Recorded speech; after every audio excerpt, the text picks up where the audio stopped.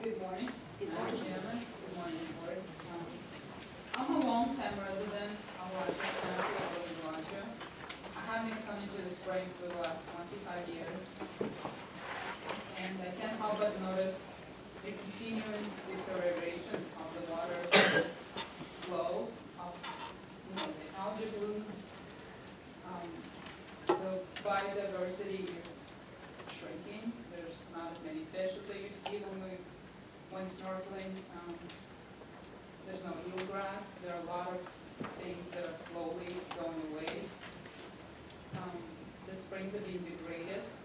Um, There are a lot of people, thousand people every day moving to Florida, which is putting a lot of pressure on this very fragile very unique ecosystem.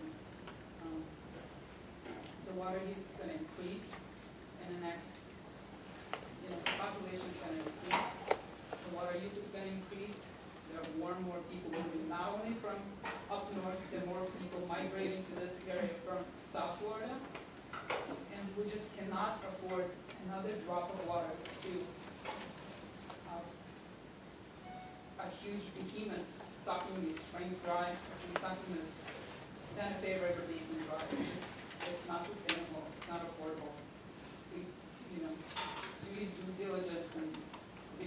Okay, thank you. I can assure you, we are doing our due diligence.